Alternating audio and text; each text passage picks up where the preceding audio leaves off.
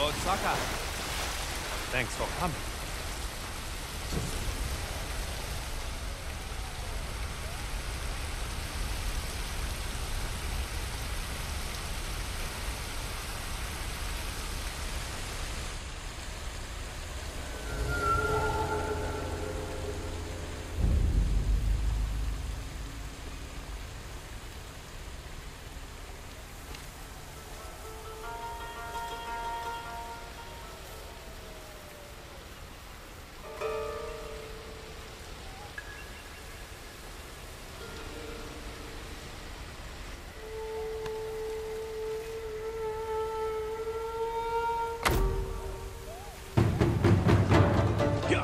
I